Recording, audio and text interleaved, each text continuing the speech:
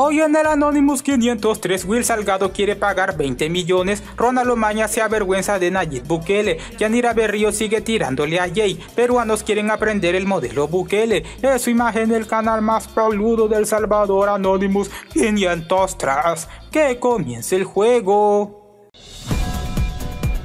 No sea grosero, señor son pasmados. Y mirándote a los ojos. Habráse visto gente más tonta. Inteligencia artificial. Respeto respetuoso. Apretarnos el cincho. Cosas grandes, por favor. ¿Qué dices? ¿Tú? Hola amigos y amigas de YouTube, ¿cómo estamos? Y en este día tenemos mucha, mucha información súper peluda de qué hablar. Así que señores, si me permiten, si me dan la oportunidad y sin tantas babosadas, démosle con todo. Ahora, ¿con qué pendeja pendejada me vas a salir? Muy bien, en primer lugar, Will Salgado salió a decir de que en vez de que la ITEXAL le pidiera 3 millones de dólares por la demanda que mejor le hubiesen pedido 20 millones ya que de todas formas les iba a alcanzar el papel para poner esa cifra. Así que para la próxima ya saben que le pongan esa cantidad porque les aseguro que esto no va a quedar así. Obviamente va a salir alguien más y le va a poner una denuncia a Will Salgado se los aseguro porque para mí muchos enemigos de él se van a animar. Los 3 eh, millones de dólares los cuales están demandando Sí, efectivamente, pues como ya lo anticipaba el señor Luis Salgado, la próxima actuación que nosotros vamos a realizar como defensa es precisamente solicitar que se deje sin efecto esa reserva total que hoy por hoy se tiene en el proceso y sea decretada en forma parcial, para los efectos de poder suministrarle mayor información.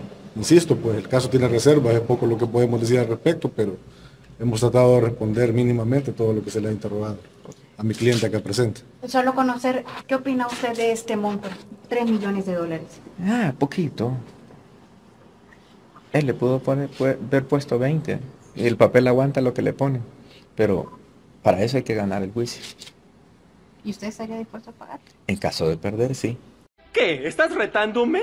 Y sí, señores, a ese imagen no lo veo muy, pero muy convencido por la forma en la que se está expresando, porque salió a decir de que si él llegara a ganar el juicio, pues él no va a poner una contrademanda por lo que la ITEXAL hizo en contra de él, muy extraño, sino que él así va a dejar ese volado. Y como les digo no tiene absolutamente nada de sentido porque si alguien a mí me llegase a demandar por A o B motivo y yo estoy seguro de mi inocencia, para mí sería una gran falta de respeto por lo que a mí me hicieron, así que por esa razón una contrademanda.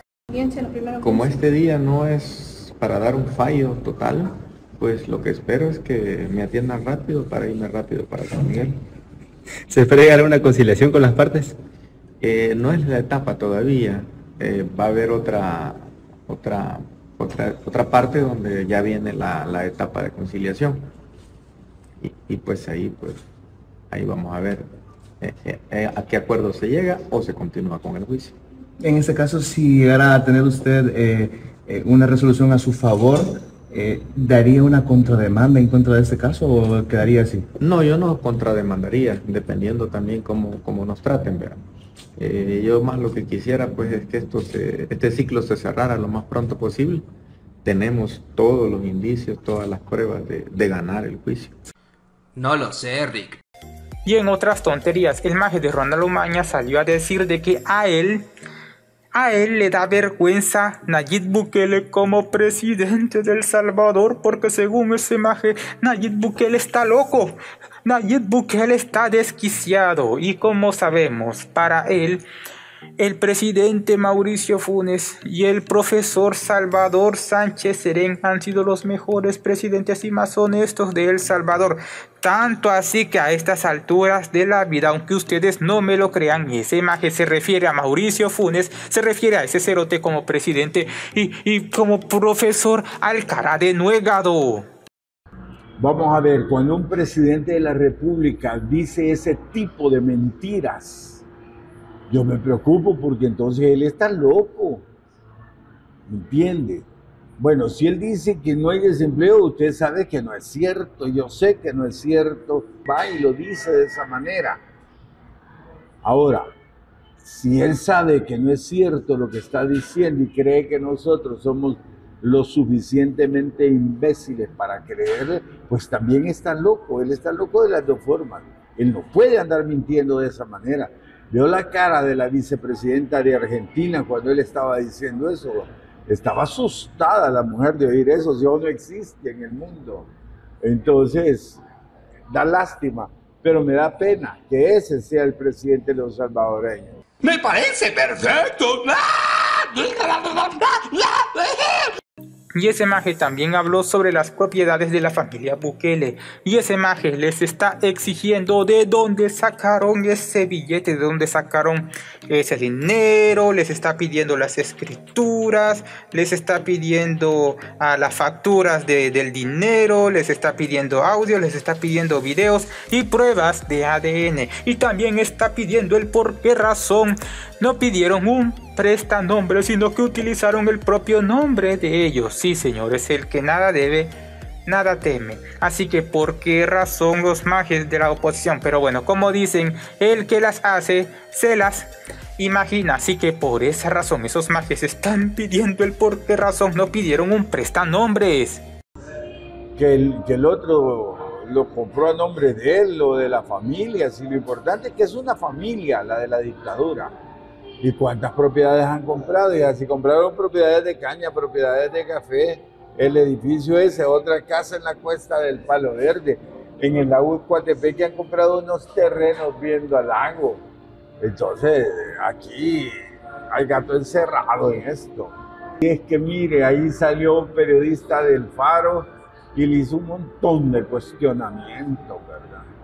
O sea, él no puede contestar así, hombre, mire, que deberían de sacar las escrituras y decir de dónde obtuvieron esa plata.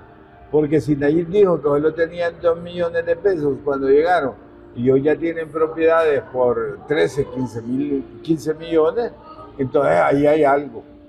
Neta, me lo juras. Y según ese payaso, él espera con ansias, perdón, él espera que el régimen sea más represivo con la población salvadoreña, porque son más de 40 mil soldados lo que el país va a tener para reprimirnos a nosotros. Y para esos payasos, 40 mil soldados es demasiado, solamente deberían ser como 100, solamente como 100 y vamos a estar seguros. Pero recordemos, ¿cuánta población tiene El Salvador? Creo que ahora somos más de 6 millones de salvadoreños. Así que ustedes creen que 40 mil soldados es demasiado para 6 millones. Le subió al ejército y le subió a los troles. O sea, ¿qué es lo que quiere? Es tener el ejército listo. ¿Para qué? Para echárnoslo a los civiles. Porque para eso se tiene un ejército de 40 mil hombres, ¿verdad? Entonces, lo que esperamos es que se vuelva más represivo el régimen. Y los troles, pues que sigan molestando, ¿verdad? ¿Qué es lo que pasa a estas alturas del partido? Que los troles ya no, ya no le dan el resultado que le daban antes. Aquí a la gente ya abrió los ojos mucho y a los troles ya no le engañan tan fácilmente. Ese es el problema que tiene el gobierno. Porque tú lo digas, vete a tomar por culo, hombre.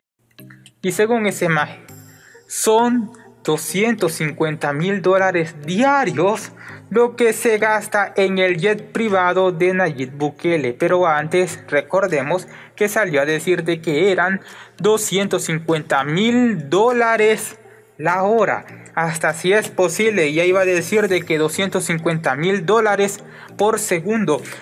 ¿Cuál 250 mil dólares por segundo? 250 mil por milésimas de segundo. Sí, señores, como les digo siempre. Más que todo, el payaso de Ronald Umaña pone esas cantidades todas exageradas, todas estúpidas, por llamar la atención y por desesperar al pueblo salvadoreño. Nunca lo ha conseguido, pero lo sigue intentando. Que además usted sabe, Raúl, que dicen que el avión vale 250 dólares diarios, más las mías más las mías, ¿verdad? Y él se pueda... Dólares la hora de... 250 mil dólares la hora. Y él anda en un avión privado que cuesta, según los medios de comunicación aquí, 250 mil dólares diarios. Imagínense lo que se andan botando de pisto. Que además usted sabe, Raúl, que dicen que el avión vale 250 dólares diarios, más las mías, más las mías, ¿verdad? Y él se pueda... Dólares la hora de... 250 mil dólares la hora. Menos tú estás pendejo, ¿ok, hijo? y los del FMLN celebraron el natalicio de Chaffee Candal.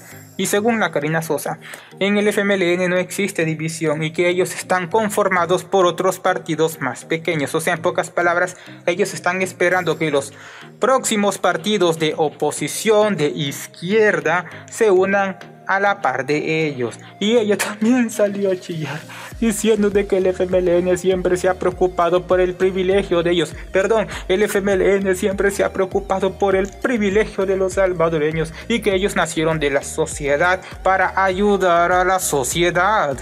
Este es un momento también complejo en el que estamos justamente pensando en cómo fortalecernos más para seguir avanzando de cara a ser una opción para los salvadoreños porque los salvadoreños en este momento necesitan solución a sus problemas.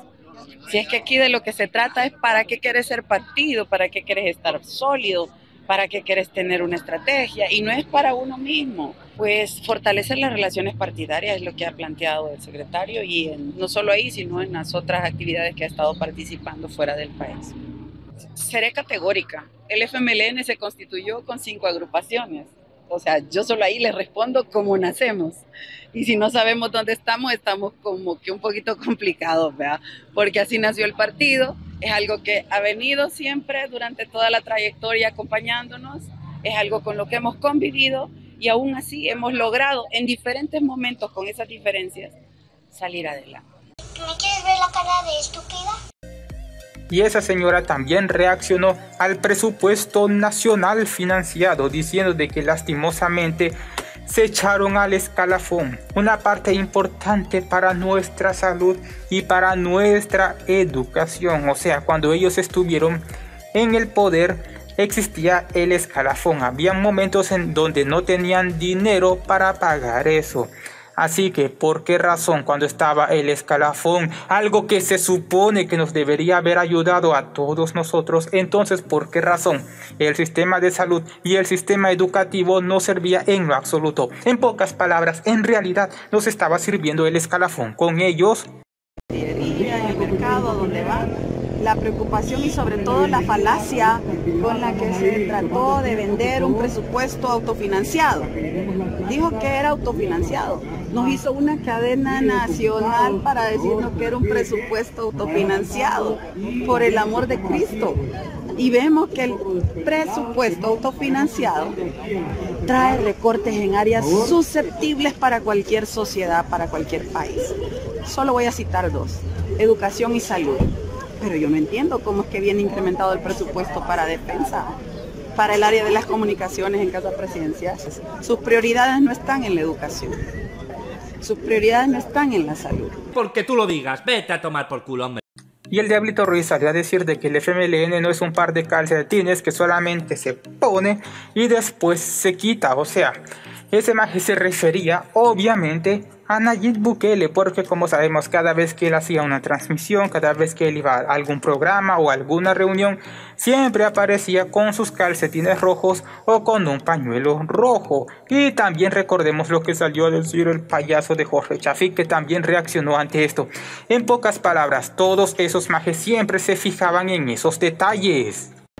Bueno, mire, en primer lugar, el FMLN nadie puede tratar de esconder que entramos en una profunda crisis a partir del 19. Pero todas las cosas pasan.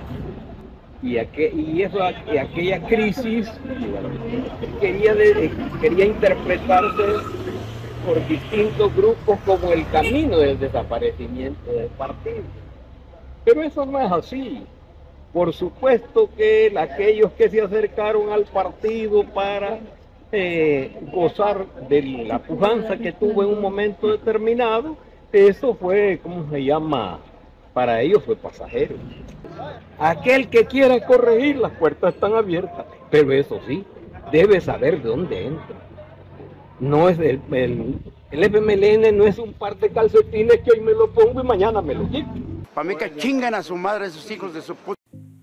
Y en otro tema, la Yanira Berrios le volvió a tirar a él Jake diciendo de que él les está viendo la cara de estúpidos a sus participantes, porque él en cada directo en cada programa siempre genera diario 50 mil dólares, 50 mil dolarucos. Y recordemos cuál es el extraordinario y exagerado premio. 5 mil dólares o 3 mil dólares, no lo recuerdo muy bien. Y muchos tal vez me van a decir de que yo necesito ese dinero. Obviamente todos queremos tener 5 mil dólares. Pero si en realidad dicen de que son ricos, de que tienen bastante dinero, ¿por qué razón están dando esa cantidad? Aquí es él, porque nosotras no ganamos ni 5. Los 10 mil y 5 mil que va a dar Jay es como que agarre un gato y le quite un pelo. Lo que él ha ganado 50 mil es un chiste. Él ha ganado mucho más. Y va a seguir ganando más. El único beneficiado y que agarró porque solo para él, solo para él, solo para él. Y no piensa por los beneficios de los demás, es él. Las cosas como son y clara como el agua. Y si gusta, yo se lo digo en su mera cara, las cosas como son. Yo no iba a hablar del asunto, pero usted... Esos bastardos me mintieron y unos surfistas internacionales han venido a El Salvador y uno de ellos salió a contar de que ellos han venido en años anteriores, en los años democráticos de Arena y el FMLN, pero siempre les decían a ellos en qué lado podían entrar y en qué lado no podían entrar. En pocas palabras, señores, eso era una verdadera vergüenza. Eso era una original vergüenza porque no podíamos entrar en ningún callejón. No podíamos ir en absolutamente en ningún lado. Pero según aquellos magios, ahora sí les da vergüenza el país. Me acuerdo que en el 2019, cuando vinimos, esto fue antes de que se hiciera el cambio de gobierno, nosotros como internacionales teníamos limitadas las zonas a las cuales podíamos ir. No podíamos movernos con libertad por zonas. Vinimos con unos guardavidas locales que ellos nos decían, bueno, se pueden mover acá, pero no pueden salir de acá. Si quieren salir de acá, tienen que salir con nosotros. Y para nosotros era como que no, no, no, no tenía mucho sentido, pero después terminamos entendiendo cómo era. Ahora cuando vinimos fue que nos dijeron, chicos, muévanse con tranquilidad, esto es otro país. Y literal, es otro país. Esto permite que pueda venir el turismo de afuera, puede venir propiciar más los intercambios, inversiones, para que personas puedan estar. Fíjate cómo están los turistas en la playa, están todos caminando, están todos tranquilos, vas a caminar por allá, la gente está tranquila, se han hecho modificaciones allá en, el sector de Tuco. La verdad que increíble, el cambio que hemos notado es abismal. Has flipado, ¿eh? Y en otros hechos importantes, en Perú van a mandar a elementos de seguridad a capacitarse en el país para erradicar al crimen organizado de ese país que se está poniendo bastante peludo. Pero bueno, por lo menos es democrático, ¿verdad? Sí, señores, ya se imaginan la reacción de la comunidad internacional, esas organizaciones de los derechos humanos que tanto estuvieron peleando, que tanto estuvieron exigiéndole a los demás países que no siguieran este modelo. Ahora 5 y 15, el presidente de la Asociación de Serenos del Perú anunció que un grupo de serenos de diferentes regiones van a viajar a El Salvador para recibir capacitación sobre las estrategias que ahí se han implementado para combatir la delincuencia y la criminalidad. A ver, escuchen. 18 serenos, diferentes partes del Perú, diferentes regiones, por primera vez en la historia, viajan al país más cool, al país más seguro del hemisferio occidental, que es El Salvador, a conocer in situ el, realmente el plan Bukele. Por eso ellos oh, van a conocer in situ el plan control territorial, van a tener capacitación de parte de las Fuerzas Armadas, de parte de la Policía Nacional Civil y de parte del CAN, Cuerpo de Agentes Municipales de El Salvador. Ok, Arriola diría, ¿por qué tanto? O sea, acá estamos un poquito menos que Salvador, ¿no? O sea, tampoco es que nos gane por mucho, diría Oscar Arriola, ¿no? Un poquito, un poquito, pero por ahí estamos, ¿no? No pasa nada. ¿No les parece eso curioso? Y por si fuera poco, una política española salió a decir de que ella está aprendiendo bastante de las técnicas de seguridad salvadoreña y que ella va a enseñar todo lo que ha aprendido en El Salvador a otros países de Latinoamérica y también a su país. Pero para mi criterio esto debería ser un dando y dando. Si ellos están aprendiendo bastante de las técnicas de seguridad, entonces nos deberían demandar a buenos futbolistas para nuestra selección. Porque para mi criterio estos que tenemos aquí sí son una vergüenza vergüenza. Afortunadamente, por mi trayectoria política, tengo un eco internacional y extraordinario cariño en otros países de Iberoamérica. Yo ahora mismo viajo a Panamá, donde volveré a reunirme con el ministro de Seguridad, Frank Abrego, un tipazo.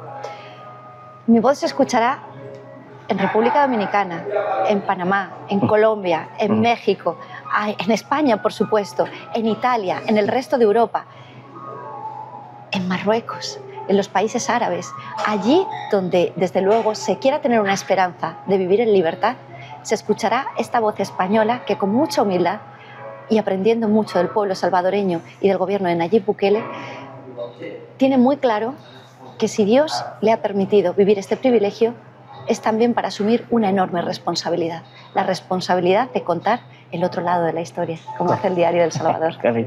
Aplauso, por favor. Y volviendo con Ronald Umaña, ese cerote volvió a decir que Nayib Bukele va en picada y que él ya no va a subir para arriba, sino que él va a bajar para abajo. Pero bueno, no se supone de que las encuestas estaban compradas, no se supone de que estas encuestas son un fraude, así que ¿por qué razón? Digamos, si estas encuestas están compradas, ¿por qué razón Nayib Bukele no las manipula para decir de que él está subiendo en popularidad? El presidente es que tiene una evaluación de 8.43%. Esto quiere decir que independientemente de todo lo sucedido, al presidente no le ha afectado en lo absoluto. El punto más alto que tuvo, ¿cuánto fue?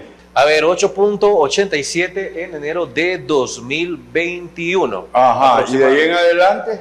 De ahí en adelante tenemos a eh, mayo, bueno, aproximadamente junio de 2021 con 8.7. Bueno, recién se había... Todo fue hacia abajo, ¿verdad? A excepción de la...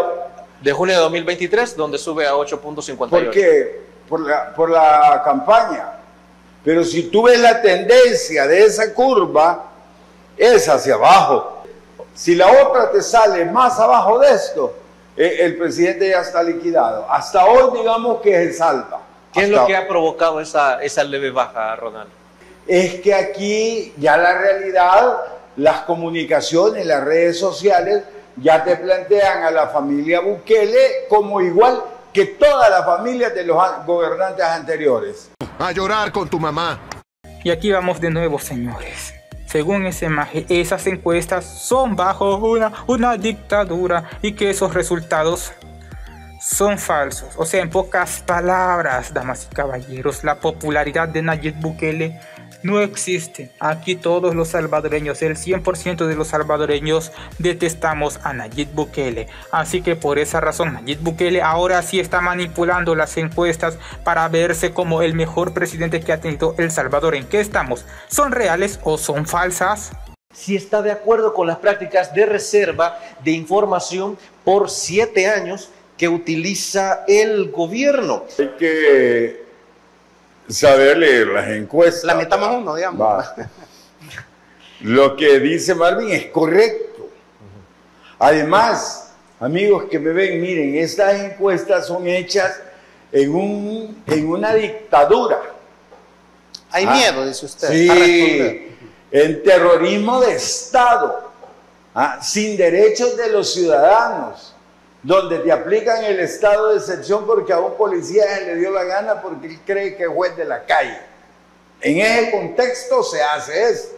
Es 39 que dice de acuerdo. Ese es foca, ese trabaja con el gobierno, ese es un enga- un- que roben. Un engañado de siempre. Y ese maje habló sobre los salarios los salvadoreños, diciendo de que los trabajos no les han aumentado el sueldo desde hace bastante tiempo y que necesitan las personas 255 dólares para sobrevivir el mes. Pero a mi criterio este es un tema, como les digo, bastante complicado, porque ¿para qué les van a aumentar el sueldo si de todas formas van a hacer el mismo trabajo o un trabajo más incompetente porque ahora muchos de ellos pierden el tiempo en los teléfonos y otro detalle digamos que les aumentan el sueldo las cosas también van a aumentar el precio como les digo es bien bonito decirlo pero en la práctica es todo lo contrario Le preguntan a la gente, ¿Ha recibido un ajuste de salario en su trabajo? El 87.4 no. Fíjate. Es decir, aumento salarial. 87.4% de la población no ha subido, no ha tenido ni un peso de incremento salarial. Por supuesto, a la población le faltan 254 dólares con 60 centavos para terminar el mes. O sea que, en otras palabras, la encuesta, cuando la puedes leer y te metes adentro, te das cuenta lo negativa que es para el gobierno, ¿verdad?